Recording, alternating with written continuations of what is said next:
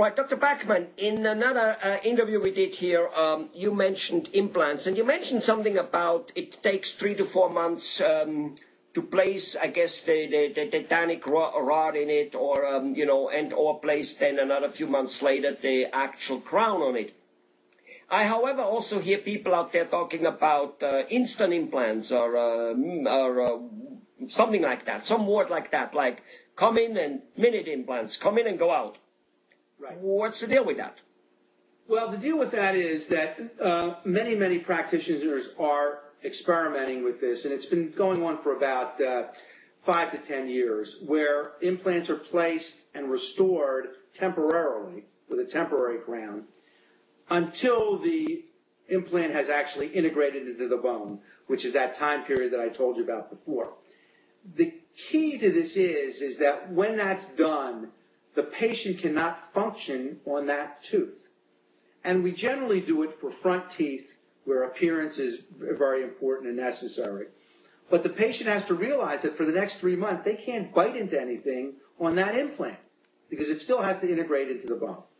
But from a cosmetic standpoint, we're often able to restore it right away with a temporary crown for appearance's sake.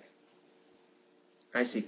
So even though the implant uh, and you know the metal is placed right away, uh, seems to be like with a tree. You put it in and it's all soft, and if you keep rattling it, uh, it'll just uh, not grow or grow very crooked or whatever.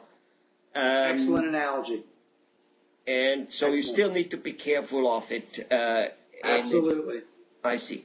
So the proper way to go is you have no choice. You go through your waiting, but apparently there are ways to to make you in the meantime good looking. Like if I have a wedding tonight, I can still look right. good, not having that implant in it, and I'm getting it in six months when it's exactly. the proper time. Right. Beautiful. I, I, like that. Okay, good. Well, that was a question uh, I had because uh, I, I, keep hearing it, and I go, well, wait a minute. Why would anybody wait six months if it can be done fast? So, but that seems to be a a relatively temporary solution must be very careful and very maybe, careful. maybe a little bit compromising. Yes, maybe. Uh, only time will tell whether these things work out. Okay. Well, I appreciate you telling us. Um, bye bye, Dr. Pakman.